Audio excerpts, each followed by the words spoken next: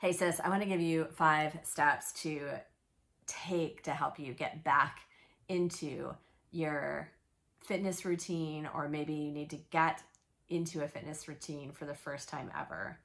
And I want to encourage you in that even if you have found yourself and realize that you have your self-care has taken a back burner chances are you are found me because you are also a highly driven, successful Christian entrepreneur or executive.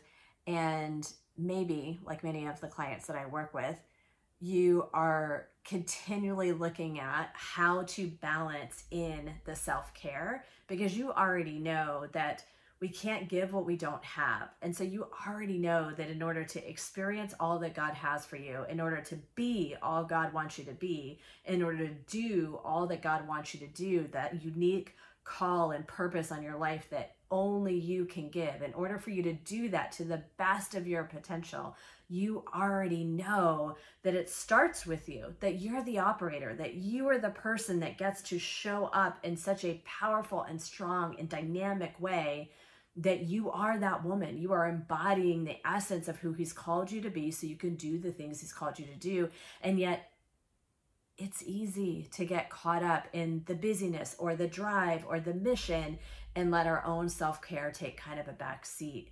And if that's been you lately, then I want to tell you that that was me lately too. And these five things are the simple things that helped me get back on track, get back into momentum, and get back to that level of certainty and expectation and that level of performance. Because for us, it's not a matter of starting from ground zero, it's a matter of continually looking at how do I get the most out of my energy? How do I get the most out of my day? How do I get most out of what I'm called to do while being the wife or the mom or like all of that is part of it. And yet you've got either a business or you're helping someone out, you're their person, helping them run their business. And all of the things get to work together.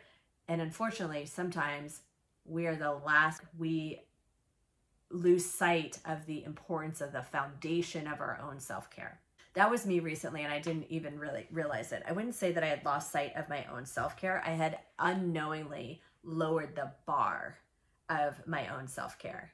And I'm going to share with you what happened to me because if you follow me for any length of time, it might be shocking for you to hear. You're probably thinking, like, Rebecca, you've been a fitness coach for over a decade. You have your own transformation from two decades ago. You live and breathe this stuff. What do you mean you got off track? How does that even happen? What does that mean for me? And I think by sharing what rec- my most recent experience was. I'm far from perfect, perfect, first of all, but my most recent experience where I really kind of fell out of routine and out of uh, the pattern that helps create the best version of me will help you see how it can be so deceptive when we start to fall out of patterns and when we start to go down what I call a slippery slope. And I tell my clients all the time slippery slope is slippery because before you know it, you're at the bottom and you didn't even realize that you were moving backwards, right? And not bottom from the standpoint of crying in my Cheerios or anything in that imagination, but just not the best version of me. So, what took place for me was that I had a significant back injury a year ago, and the back injury was so significant, it was in a lot of pain um, for the initial stint of it. And so, I was physically forced to take time out of my workouts. And for me, in this stage of my journey, as I'm sure it might be true for you as well, the physical exertion isn't just about having in a body that I feel amazing in and feel comfortable and radiant, confident in. It is the the physical release in a workout is also a fuel for my mental health. It's also fuel for being able to access God's creativity in me. It's also fuel for me to be able to access God's w- wisdom and vision and peace. Like a physical exertion for me, I really believe God created a lot of us high performers as the physical release out of a workout that is going to challenge us is like a release valve, right? It, it is one of the keys to the kingdom, not to be sacrilegious or whatever you want to call it, but like that, it, those are the words that I have to describe it in this moment. It's a key that unlocks so much and so many other things when we are physically taking care of ourselves through through good sleep, through water intake, through um, proper stress management, through uh, creating emotional mastery by being able to identify the thoughts that don't service and uh, replacing them with the word the thoughts that do. These are all things that I live and breathe, and I'm honored to walk alongside of high performing Christian women to help them integrate it into really busy lifestyles. So I live and breathe this, and yet this is what was hope note what was true for me and then i will share the five things i did to get back to feeling like I, i'm back to me right and or on my way to the next version of me and what took place for me was that back injury forced me to physically come out of habit, forced me to physically come out of the routine of getting some sort of movement in, usually a challenging workout, almost every day. I'm not saying that you have to work out like a banji and six seven days and, and what have you. I just this is one of the things that drives me. So it's a critical piece of my puzzle. Your puzzle might be different and that's where you uh, working with a coach whether it's me or somebody else is powerful because your puzzle what helps you operate at your best is going to look slightly different. There's going to be commonalities and then there's going to be slight differences to you what makes you perform at your best what equips and empowers i should say to to equips and empowers you to perform at your best because you're different because you're uniquely crafted by god to be wired differently to do different things to be different person like you are a special snowflake. You are a fingerprint. You are uniquely desired. So what i know there's, core tenets for all of us and then there's iterations or modifications within it if that makes sense. For me, a physical workout five days a week has been a core tenet of my puzzle that equips and empowers me to look and feel my best for almost two decades. But having the back injury, pull it, that piece of the puzzle, I realized in hindsight, not only got pulled out, but it got tucked away. It's like that corner piece you can never seem to find, right? I'm not sure that that's a great analogy, but that's what's coming to mind. And I didn't realize what was happening because I was on a slippery slope.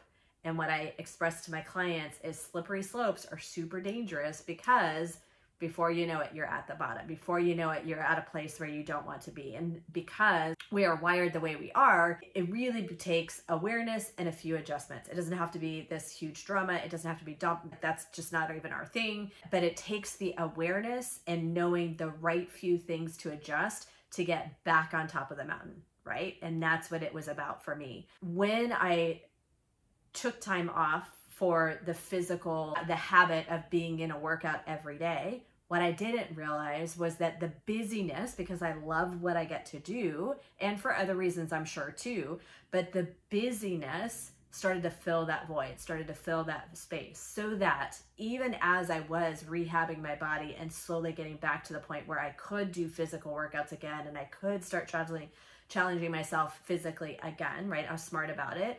So that time understandably should have it did take time. But even once i got to the point where I, I, still wasn't choosing to because i had normalized not showing up for myself in that way every single day. And i believe maybe there was some justification going on i'm sure a lot of different things. However what i came to realize about two months ago now was that this pattern had taken place that i had normalized not being in the gym every day that I I got to remember that when I'm in the gym because this is such a critical piece of my puzzle doesn't need to be part of your puzzle. You can apply this you can use this outline for putting your puzzle together and figure out what piece might be missing or what piece you need to find. You get the point. So once I realized these are the five things that I did because I know that it's an important piece of my puzzle excuse me as I stumble over my words for a second because I know it's an important piece of my puzzle I know that getting that piece back in place is necessary in order for me to continue to be all that God has called me to be so that I can do all that He has called me to do. We know that we're created on purpose for unique and greater purpose. You know that you're uniquely gifted, uniquely talented.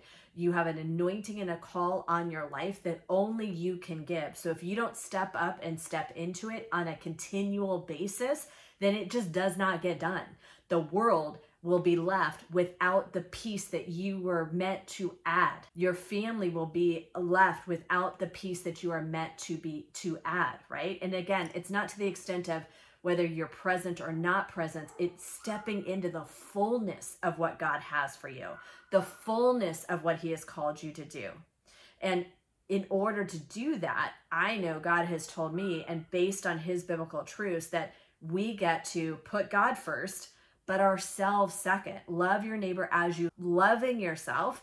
His word also talks about the fact that our physical body is his temple. It is the home for his Holy Spirit in us.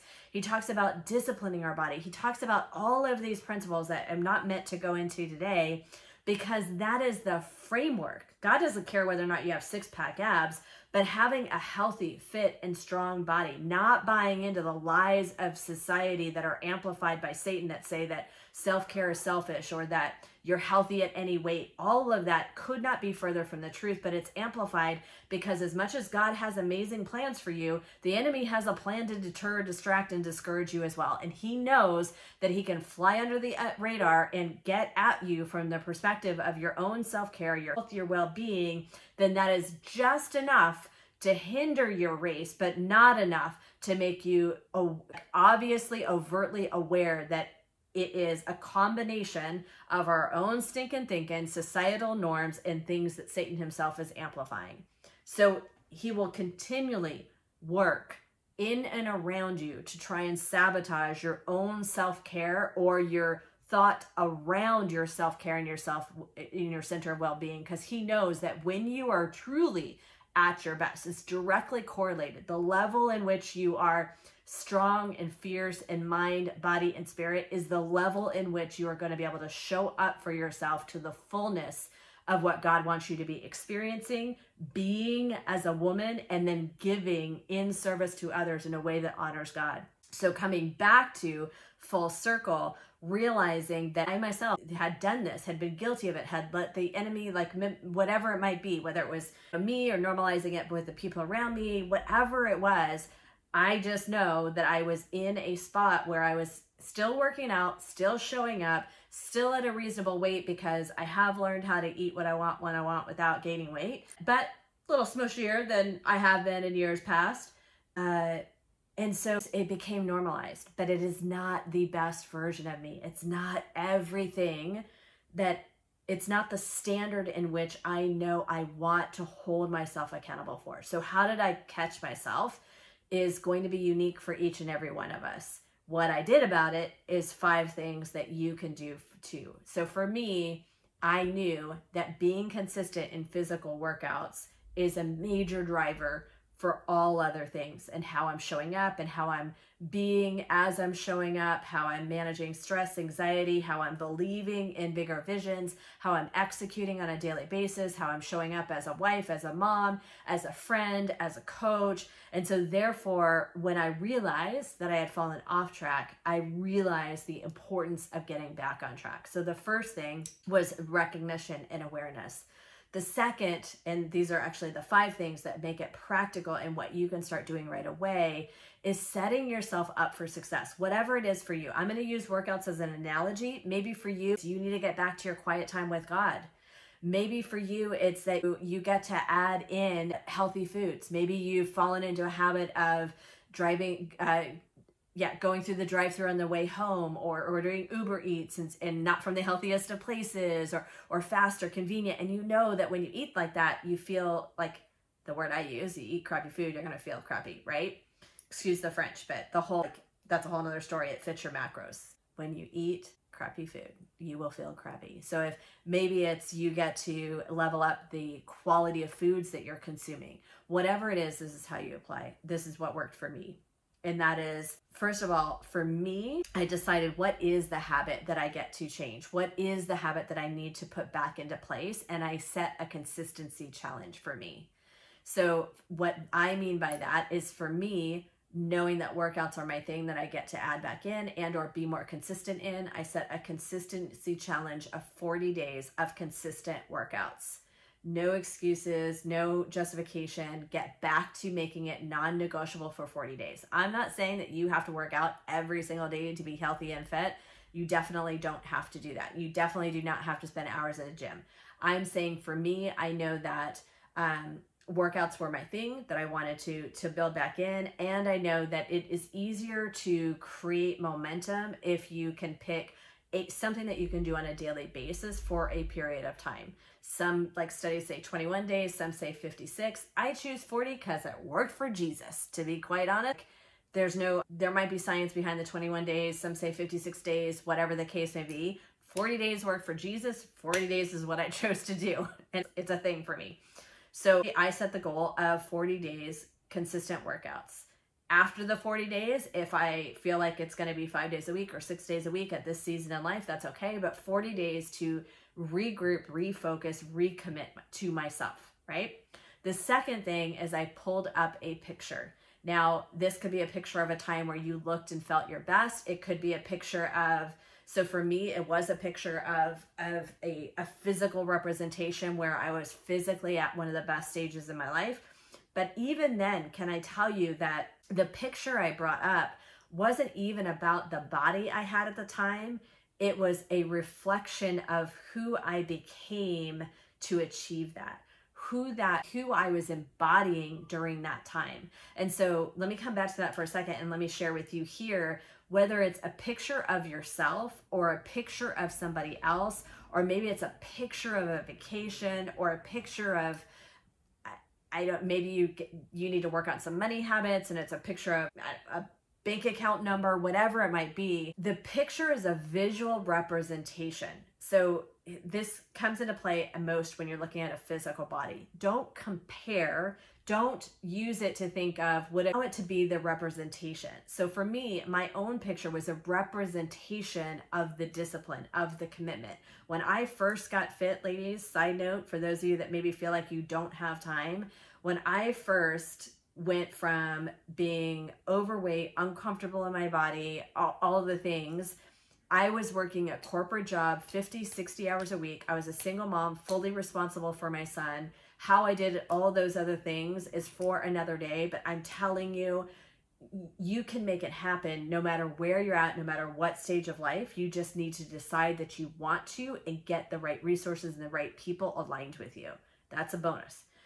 Now, having said that, that picture represented that determination, that uh, decision to get healthy and fit because even back then, 20 years ago, God switched something in me where I knew, as great as I thought I was doing at the time, how much better would I be if I actually felt good, if I actually did the things, if I was truly showing up all of those things. And so that picture was the end result of about an 18 month commitment of doing the thing that would be required to get myself in a place where I was physically, mentally, emotionally, spiritually strong. And so that's what that picture represented. So that picture, so maybe it's a picture of you when you had a season where you felt like you were at your best. Maybe it's a picture that of somebody else that represents the the the character, the embodiment of who you want to become again, not by comparison, but just the embodiment of what is possible. Super important distinction. Whatever that picture is, put it as your screensaver on your phone. And you might be thinking, because the thought happened to me too, what if somebody else looks at my phone? Because here's a picture, and I'm not quite in a bathing suit, but I'm in like a, a sports bra top and a pair of shorts. And it just, you know, the thought that I had, that I'll be super transparent, is like somebody looks at my phone, they're going to be thinking, why does she have a picture of herself? But here's the thing do I care about somebody else's opinion? and fleeting thought? Or do I care more about the result and becoming the type of woman that makes those choices again? For me, hands down, I care more about being the woman that makes those choices again than I do about somebody else's opinion that might see the picture on my phone. Fair enough? So when you see that picture, you're reminding yourself, this is who I am, not who I'm working towards, not who I'm going to be. This is who I am.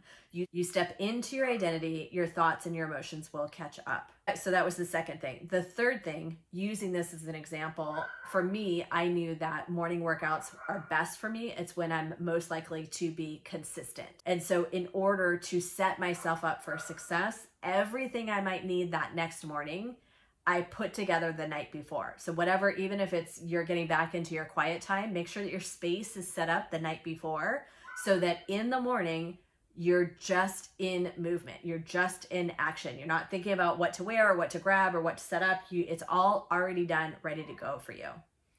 Uh, let's see. Third is talking yourself into it. So I shared the other day that a thought this morning as soon as my alarm went off. Sometimes I wake up before my alarm, but my alarm went off and immediately I thought, get up, take action. You do not procrastinate. This is who you are a month ago when I first started this this started this routine again that had was not yet my automated thoughts were still do I really want to get up this more this early and do this right now because I my uh, I was still getting my sleep but I had to shift my schedule my AM time was 6 a.m. before I added workouts back in. So it was a process. You get the same superpower you have of talking yourself out of things, you get to use to talk yourself into it. And one of the ways you can do that is think not about the need to get out of bed, but how you're going to feel after the thing is done. One of my clients just today shared how great she felt this morning because she didn't want to work out today, and yet she chose to do it anyway. There's even more power and more affirmation for ourselves when we choose to do the thing, even when we don't want to. So it may start with your automated thought, might be something like trying to talk yourself out of it. Catch the thought, talk yourself into it. Think about the end result. Think about the benefit. Think about the reward. Think about how much better you will feel, or think about how crappy you're going to feel if you don't show up for yourself, right? Uh, and then let's see, I'm looking at my notes real quick. The last but not least, the fifth is holding yourself accountable. Now, here's a little tough love we are far more likely to keep our word to other people than we will to ourselves. Keeping your word to yourself is by far the most important word you could ever do. That's what helps build and secure and grow and evolve your confidence and your self-worth is keeping your word to yourself. However, that is a process and you may not be there yet. So holding yourself accountable to somebody else may be more powerful for you in this moment because you may be in a place where you're still more likely to keep your word to somebody else than you are to yourself. Here's another two, tough, tough love for you. So I'm warning you, I'm a truth loving coach, spoken from a lens of love, but the truth is the only way that you can truly create shifts that are going to be meaningful and powerful. So here's the powerful truth. You cannot hold yourself accountable that it to somebody for the habit you want to grow in that doesn't hold that habit to the standard you want to be at or higher. You cannot hold yourself accountable to somebody that does not hold the standard you are trying to set or higher. So you cannot hold yourself accountable using fitness as an example to a person that is not yet at the fitness level or above the fitness level in which you want to be. Because one, you don't truly respect their opinion because they haven't achieved what it is you want to achieve. And two, like I've said to women many, many times, the buddy system works until the buddy, buddy system falls apart. It's blind leading the blind. The buddy has an off day, doesn't keep their word, comes up with something that feels like a valid reason as to why they're not going to do something, and it plants a seed for the other buddy to do the same the next time they don't feel like it. So you get to choose to hold yourself accountable, typically to a mentor or a coach, somebody that is at further along for that specific aspect in which you are trying to add back in, into which you're trying to grow, cultivate. So, those are the five things. The first, setting some sort of habit goal and creating a consistency challenge in that habit for the goal. The second thing is pulling up a picture that is going to represent who you want to become and who you want to embody for that habit that you're adopting. The third is getting ready for the habit that you're building the night before, the day before, so that everything is ready to go when you plan to be in action for that habit. The fourth is talking yourself into it. In the beginning, you're going to have to talk yourself into it every time you catch yourself trying to talk yourself out of it. Eventually, the thoughts will catch up and the automated empowered thoughts will start to come back. Last but not least, hold yourself accountable to somebody that you respect and high regard for that same thing. Either a coach, a mentor, that's typically who's going to be able to hold space for that as you're working out. So as always, I love you guys. If this was helpful, please like, comment, share, follow, and I will be sharing more of this based on what I know works make makes a difference for you. And if you are uh, have any questions or comments, feel free to comment below. You can email me at Rebecca at RebeccaTabbert.com. Love you guys. Bye for now.